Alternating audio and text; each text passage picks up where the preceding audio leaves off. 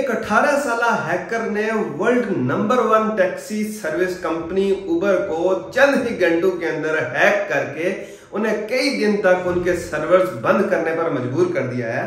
क्या world number one taxi company की security इतनी ही कमज़ोर थी कि एक 18 साल के बच्चे ने उनका सिस्टम हैक कर लिया? या फिर लड़का ही इतना टैलेंटेड था कि उनके सिस्टम के अंदर घुस के उनकी हर चीज़ को हैक कर लेता है? दोस्तों, मेरा नाम है मकाश चौधरी और आप देख रहे हैं आई टी फिक्सर टीवी आइए जानते हैं इसकी हकीकत क्या है।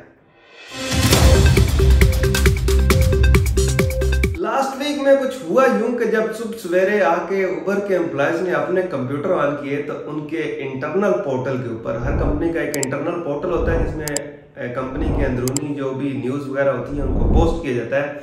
उसके ऊपर देखते हैं कि एक नोटिस आया हुआ है कि आई एम ए हैकर और मैंने आप लोगों का सारा सिस्टम हैक कर लिया है। पहले तो वो ये समझे कि ये इंटरनल पोर्टल है, हो सकता है किसी एम्प्लॉय की शरारत हो समटाइम एम्प्लॉय नाराज़ हो तो इस तरह की हरकतें कर भी लेते हैं। खैर, उन्होंने कहा, भाई, आपके पास क्या प्रूफ है कि आप हैकर हो और आपने कंपनी का सिस्टम हैक कर लिया है? जिस पर उसने बहुत ही शॉकिंग प्रूफ दिया। उसने उबर के सोर्स कोड की इमेजेस उनके साथ शेयर की कि ये देखें, आपका पूरे का पूरा कोड जो है मेरे पास मौजूद है। इसको मैं चाहूँ तो पब्लिक कर सकता हूँ।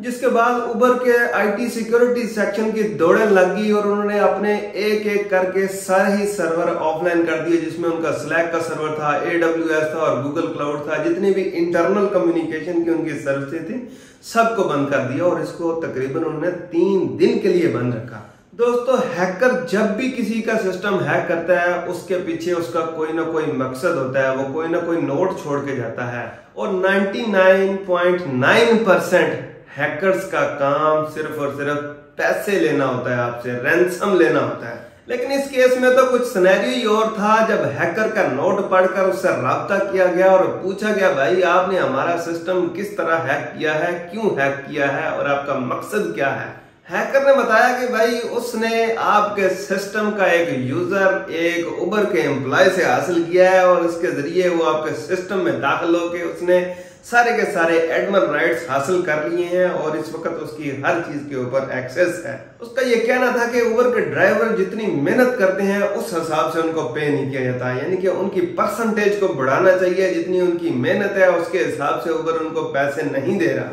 हर तीन दिन के बाद उबर ने एक ट्वीट किया है और उन्होंने कहा कि हमने अपनी सर्विसेज़ दोबारा से ऑनलाइन कर दी हैं और हमारी जितनी भी उबर की सर्विसेज़ हैं, जिसमें टैक्सी सर्विस है और फ्रेट सर्विसेज़ है, और भी कुछ सर्विसेज़ हैं, इनकी सारी की सारी ऑनलाइन है। ड्राइवर ऐप में कोई इशू नहीं है और किसी किस्म का हमारा डेटा कंप्रोमाइज नहीं हुआ और ना ही उन्होंने अपने कस्टमर्स को और ड्राइवर्स को अपने पासवर्ड चेंज करने के लिए कहा है। आपके ख्याल में क्या उबर को यह एडवाइजरी जारी नहीं करनी चाहिए कि उनका सिस्टम हैक हो गया था? इसलिए प्रिकॉशनरी मेजर के तौर पर सारे यूज़र अपने पासवर्ड चेंज कर लें।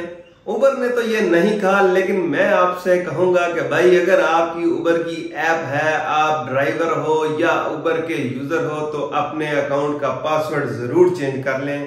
ये हैकर इसको पब्लिक कर देगा और अकाउंट आपके कभी ना कभी कंप्रोमाइज हो सकते हैं। आई होप के दोस्तों ये वीडियो आपके लिए इन्फॉर्मेटिव रहा वीडियो अच्छा लगे तो वीडियो को लाइक कर दीजिए और चैनल पर पहली बार आए तो चैनल को सब्सक्राइब कर लीजिए। Thank you for watching Allah